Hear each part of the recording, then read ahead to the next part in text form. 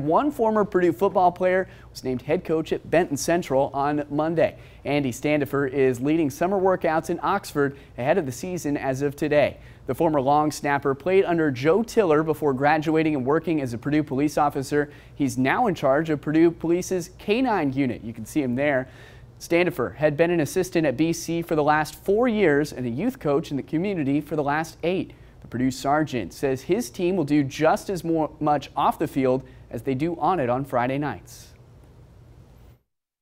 They got to go and give back to the community. We got something coming up in July where it's going to be a community day where the kids are actually going out and working. If you, as a coach, can get them to be the best them that they can be, that's awesome. And I tell them every day, be better today than you were yesterday.